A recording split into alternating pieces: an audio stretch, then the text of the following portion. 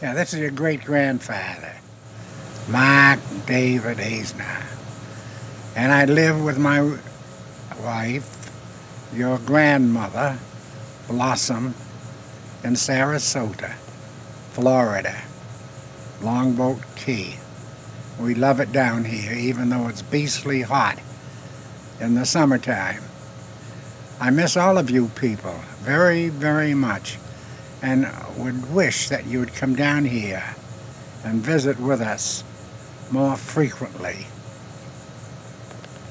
Um, it's uh, wonderful to have Michael come down once in a while, Vicky and Leslie, and I am so very proud of my family. I mean, my eldest was Vicky Porter, who is a very lovely girl and a very talented person, a fine artist. She lives a beautiful existence in the mountains of Colorado, along with friends that she adores. She's very comfortable and very, very generous with her heart and her money. I mean, in making purchases that make people happy. Then there's Leslie, who's a self-starter, who developed a business that's really quite worthwhile, comfortable to lots and lots of people. Leslie Ann Novak. She lives in Massachusetts and is a very, very beautiful and lovely person. Then there's Michael, who lives in Denver, who is also a self-starter. I don't think Michael ever worked for a person in his entire life. He just goes out and does what he wants to do, and he does it very, very successfully. I am, at the present time, in a wheelchair in a wheelchair that takes the bottom part of me and makes it sort of mobile, where the top part of me is wide awake, alive, and full of verve. The top part, my shoulders, my arms, my chest, I get strength from the waist up. But from the waist down, I'm immobilized. I can't motivate. I have to have this wheelchair chariot take me where I want to go. Okay. But life, along with that, is very, very pleasant. I have a wife that has taken over and does everything within her power to make my life more comfortable. She takes care of the house and the payments of bills and enjoys herself once or twice a week playing cards. She's uh, one in a million it's a blessing to have a person like that take charge. Uh, I am her number one priority. She shows it. She does everything she can, everything she can to make me comfortable. Okay. I do hope that in the future years you will think of me as a person that enjoyed life, that was given many of the gifts of life, earned or unearned. But the greatest gift that I have had bestowed upon me was a gift of my wife and my children. God bless you.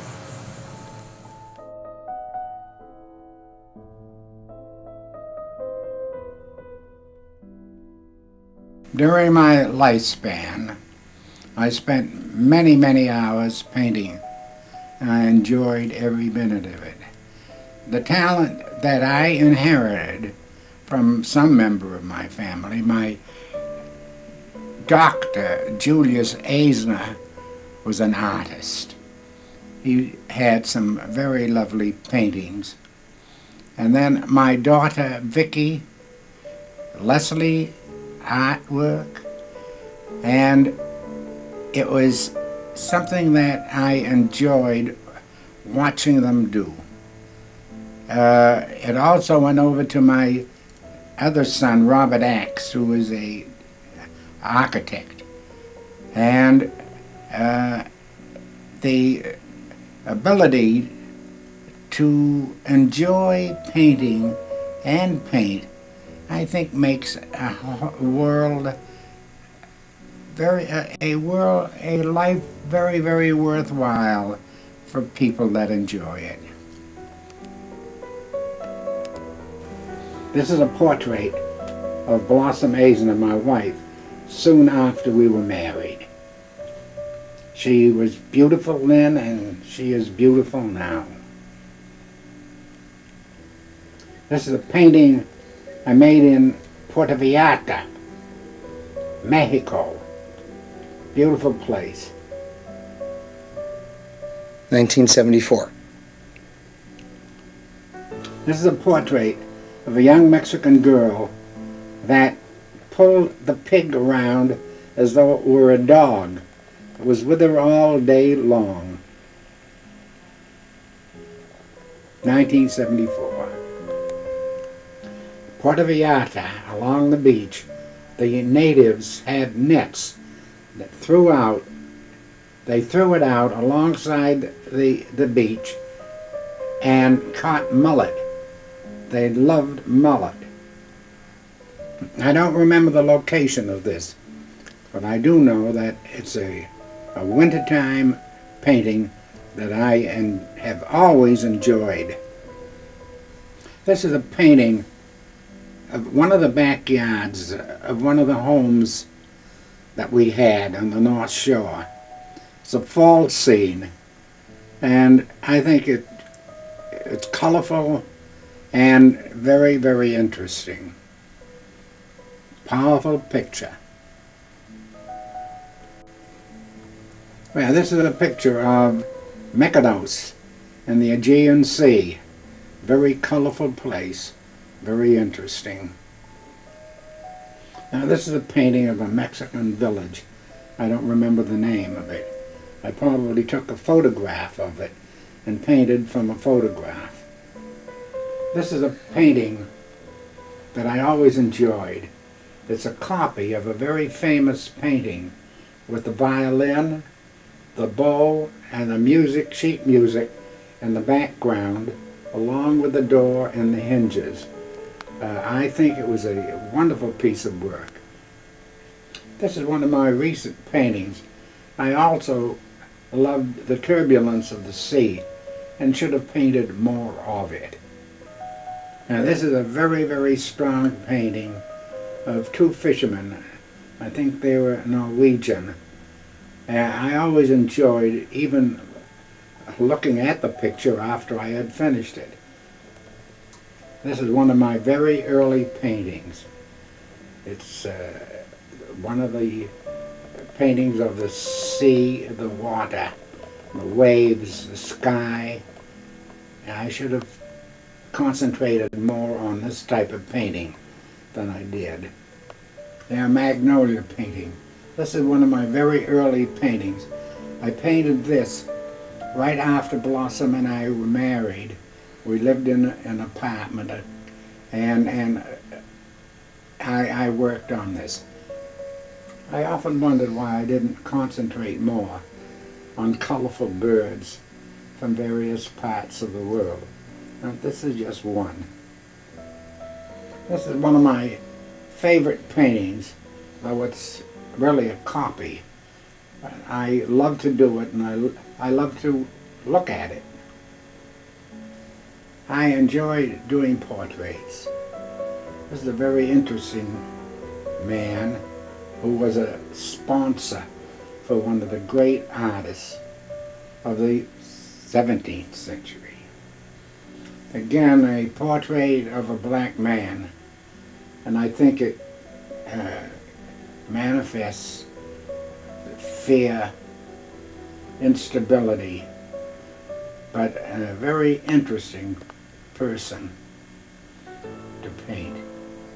Now this is a painting from Acapulco, where the diver climbs up a high cliff and waits until the tide comes in or a wave comes in and dives into it and then climbs up on the other side.